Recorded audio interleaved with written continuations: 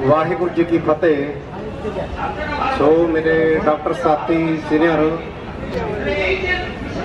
ਮੈਂ ਸਭ ਦਾ ਦਿਲੋਂ ਧੰਨਵਾਦ ਕਰਦਾ ਡਾਕਟਰ ਮਹਿੰਦਰ ਸਿੰਘ ਦਾ, ਜੋ ਜਿਨ੍ਹਾਂ ਨੇ ਅੱਜ ਪਹਿਲੀ ਵਾਰ, ਜੋ ਮੈਂ ਪਹਿਲੀ ਵਾਰ ਮੀਟਿੰਗ ਅਟੈਂਡ ਕੀਤੀ, ਜਿਨ੍ਹਾਂ ਨੇ ਮੈਨੂੰ 2 ਮਿੰਟ ਲਈ ਟਾਈਮ ਦਿੱਤਾ।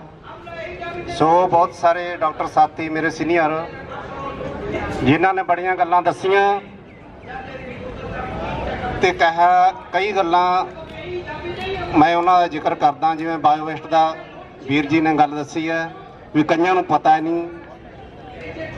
ਆਪਾਂ ਨੂੰ ਸਾਰਿਆਂ ਨੂੰ ਪਤਾ ਹੀ ਬਾਇਓਵੇਸਟ ਕੀ ਚੀਜ਼ ਹੈ। ਜੋ ਭਾਈ ਆਪਾਂ ਸਾਰਿਆਂ ਨੇ ਬਾਇਓਵੇਸਟ ਦਾ ਜ਼ਿਕਰ ਕੀਤਾ, ਉਹਦੇ ਵਿੱਚ ਸਾਰਿਆਂ ਨੂੰ ਪਤਾ ਹੀ ਹੈ ਕੀ ਕੀ ਚੀਜ਼ਾਂ ਦਿੱਤੀਆਂ। ਸੋ ਬਾਕੀ ਗੱਲ ਕਰੋਨਾ ਦੀ ਰਹੀ, ਡਾਕਟਰ ਮਹਿੰਦਰ ਸਿੰਘ ਨੇ ਦੱਸਿਆ।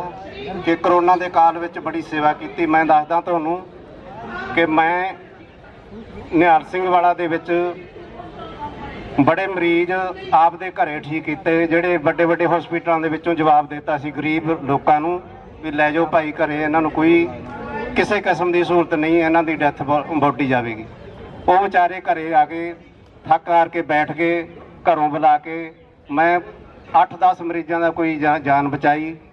ਇੰਨਾ ਹੋਇਆ ਕਹਿੰਦਾ ਤਾਂ ਖਿਮਾ ਜਾਚ ਕੇ ਵਾਹਿਗੁਰੂ ਜੀ ਕਾ ਖਾਲਸਾ ਵਾਹਿਗੁਰੂ ਜੀ ਕੀ ਫਤਿਹ ਹਾਂਜੀ ਬਹੁਤ ਬਹੁਤ ਧੰਨਵਾਦ ਅੱਗੇ ਮੈਂ ਡਾਕਟਰ ਹਰਵਿੰਦਰ ਸਿੰਘ ਗੰਗਾਨਗਰ ਨੂੰ ਬੇਨਤੀ ਕਰਾਂਗਾ ਕਿ ਉਹ ਵੀ ਆ ਕੇ ਆਪਣੇ ਚਾਰ ਸ਼ਬਦ ਕਹਿਣ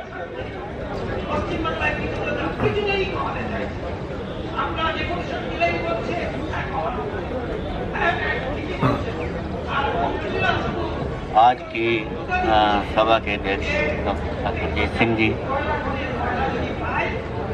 हमारे senior doctor Umesh ji Bali doctor Sandhya ji Agarwal doctor G R Verma ji doctor Kulwant Singh ji, Ganganagar से राजस्थान। डॉक्टर जोत जी सिद्धू डॉक्टर महेंद्र सिंह जी, मंच संचालक हमारे, जो बहुत ही अच्छी तरह से अपना कर्तव्य निभा रहे हैं। और सबको बोलने का मौका दिया है। अपने विचार भी रखे हैं। जितने भी आज हमारी यूनियन के मेंबर्स यहाँ सभा में आए हैं, उन सब का मैं तय दिल से आभार व्यक्त करता हूँ। तो हमारे आज कुछ मुद्दे हैं। सबसे पहला मुद्दा तो ये है कि हमारी कार्यकारिणी का, राष्ट्रीय कार्यकारिणी का गठन जो है, वो हर दो साल पर किया जाना होता है, लेकिन किसी कारणवश शायद नहीं हो पाया। तो आज सिर्फ़ तीन स्टेट आई हैं, दिल्ली। वो तो आई हुई है, जब यहीं बैठी है तो। लेकिन बाहर से पंजाब और राजस्थान दो से ही प्रतिनिधि आए हैं। जहाँ तक संख्या बल का सवाल है तो आज सौ आदमियों की परमिशन थी आज की सभा की। तो उससे ज़्यादा हम कर नहीं सकते, वरना संख्या बल तो हम दिखा सकते थे। और जब दिखाना होता है, तब हम दिखाते भी हैं। और दिखाते रहेंगे, संघर्ष करते रहेंगे। लेकिन बड़े अफसोस की बात है कि जहाँ से हमारे राष्ट्रीय अध्यक्ष हरियाणा से डॉक्टर एल सी शर्मा, वहाँ से एक भी मेंबर नहीं आया। और उनकी उपस्थिति हमें कुछ खल, अनुपस्थिति हमें कुछ खल रही है। आना चाहिए था सबको, बाकी स्टेट से भी आना चाहिए था। तो आज की सभा में हमारे जो सीनियर मेंबर हैं, उनको मिलजुल करके नई कार्यकारिणी का गठन करना चाहिए।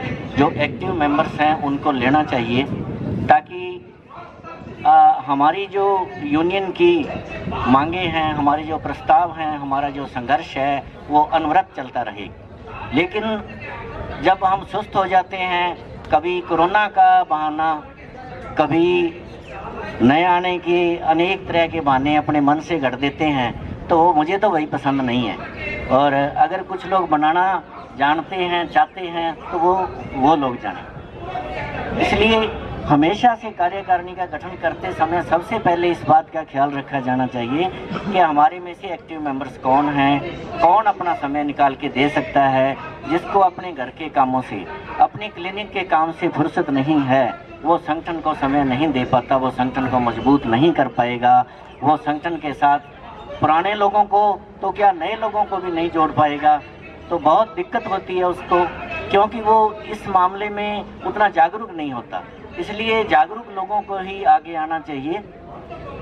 इसलिए आज जैसे तीन स्टेट आई हैं तो हमारे जो सीनियर मेंबर हैं आपस में विचार विमर्श करें कि हमें आगे क्या करना है। आज की मीटिंग में कार्यकारिणी का गठन कर दें तो बहुत बढ़िया है, वरना